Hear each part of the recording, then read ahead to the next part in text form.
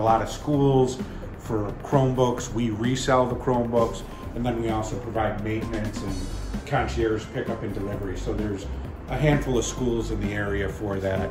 Um, not only do we resell, but we help, you know, set them up, the Google for Education, um, and then we maintain them and um, just make sure that they're, for the students, they're up and running in time.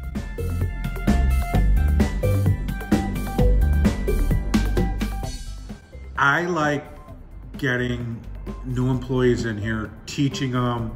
Um, not everybody's cut out for a four-year college for whatever reason, or they don't have um, the means or whatever it is. And so there's this whole talented workforce of people that are non four-year college, some junior college, but they're smart, and I like providing an opportunity.